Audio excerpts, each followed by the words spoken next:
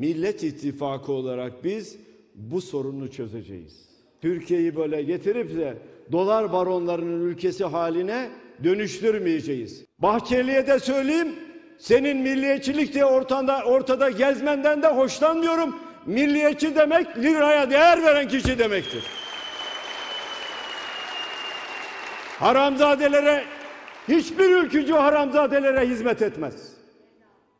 Hiçbir milliyetçi haramzadelere hizmet etmez. Anlatacağım biraz sonra neyin ne olduğunu. Bakın değerli arkadaşlarım. Bugün mü yine mecliste bir kanun görüşüyor bu limanlarla ilgili kanun. Geçmişte özelleştirme belli sürelerle özelleştirilmiş, ihale açılmış belli firmalar Türkiye denizcilik işletmelerinin ve devlet demir yollarının limanlarını ihaleyle almışlar. Ama kimisi 20 yıl, kimisi 30 yıl almış. 49 yıl değil. Şimdi bir kanun getiriyorlar. Efendim, Türkiye Büyük Millet Meclisi'nin çıkaracağı bir kanunla bütün süreleri 49 yıla çıkarıyorlar. Bu ne demektir? Özellikle bu lafım Türkiye Büyük Millet Meclisi'ni yöneten ve başkanı olan kişiye. Türkiye Büyük Millet Meclisi'ni bir avuç insanın yolsuzluğuna malzeme edemezsin. Bir daha ifade ediyorum. O kanun tasarısını, teklifini geri çek. Türkiye Büyük Millet Meclisi böyle bir ayıbı kaldıramaz. İhale yap kardeşim ya. İhale yaparsın.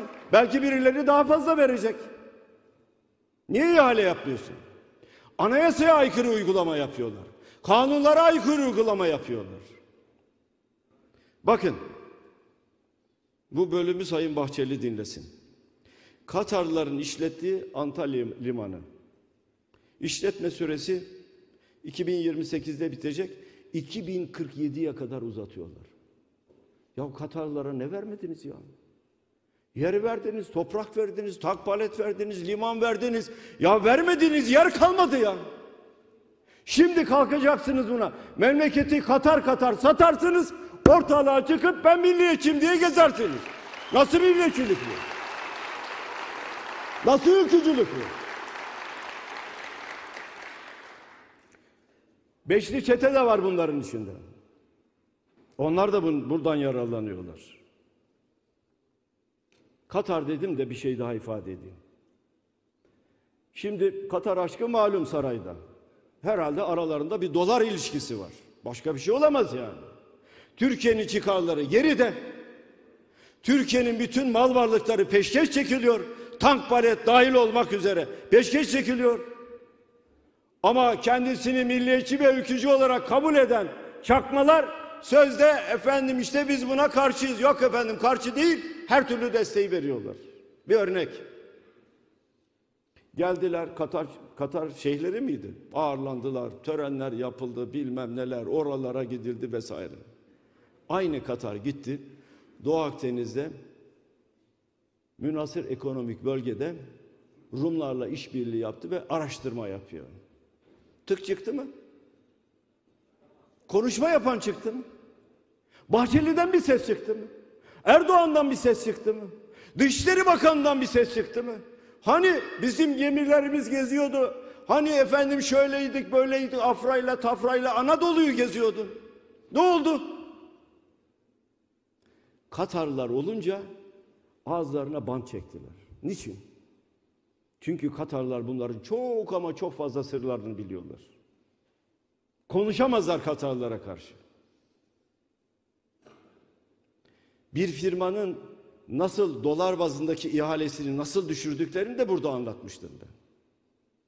Katar aşkının topluma maliyeti nedir? Aslında bunun da oturup bir tartışılması lazım. Bu konuda da bir hazırlık yapın. Nedir yani bu Katar aşkının bize maliyeti? Tank paleti verdin, arazileri verdin, limanları verdin. Ki limanlar dünya ticaretinin yüzde sekseni deniz yoluyla yapılır. Yüzde sekseni. Amerika'da küçük bir limanı Suudi Arabistan alacaktı. Yanlış hatırlamıyorsam müdahale ettiler ve vermediler. Küçük bir limanı. Ya sen bütün limanları veriyorsun. Limanların bir özelliği daha var. Uyuşturucular buralardan geliyor. Uyuşturucu baronları buralardan besleniyor, buraları yönetiyor. Ve o baronlar siyaseti satın alıyorlar. Ve o baronlar hakkında kimse bir şey yapamıyor.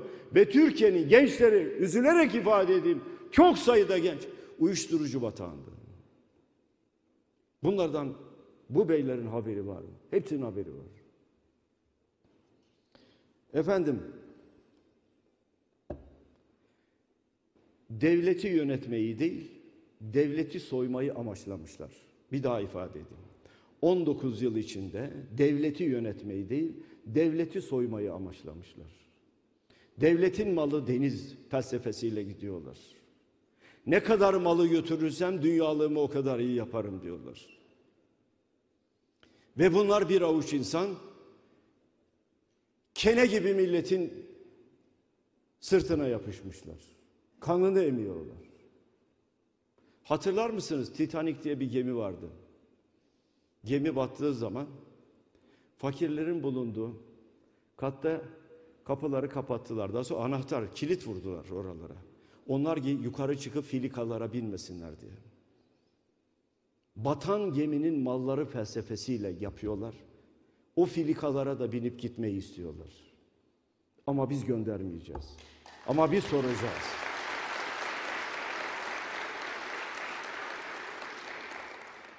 Bir soru daha. Faizler gerçekten düştü mü? Öyle ya. Yeri göğü inletiyor. Faize işte şöyledir. Faize karşıyım. Nas var. Nas neyi emrediyorsa ben onu yaparım. Eyvallah. E soralım faizler düştü mü? Bir faiz düştü. Merkez Bankası'nın politika faizi düştü doğru. Yani Merkez Bankası dedi ki ben politika faizini düşürüyorum. Peki diğer faizler? Devletin 5 yıllık borçlanma faizi. Gidiyor devlet borç para yok borç alıyor. Eylül ayından bu yana yüzde 17'den yüzde 25'e çıktı. Hani nas? Sen borçlanıyorsun. Devleti yönetiyorsun sen. Ve sen borçlanıyorsun. Geçmişte yüzde 17'den Eylül ayında borçlanırken şimdi yüzde 25'ten borçlanıyorsun. Faiz de diyorsun. Yani sen faize karşıydın. Ya bir insan kendi halkına bu kadar yalan söyleyebilir mi?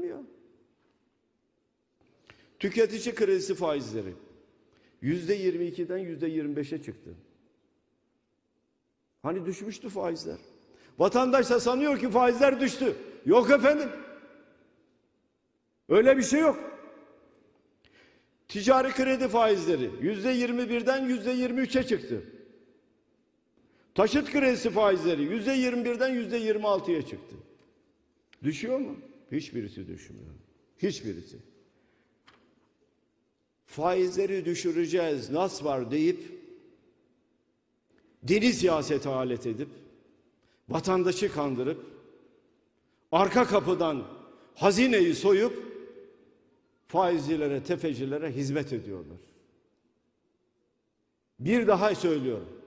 Türkiye Cumhuriyeti tarihinde tefecilere, faizcilere en büyük hizmeti yapan kişi sarayda oturan zattır. Adı da Erdoğan'dır. Herkes bunu bilsin.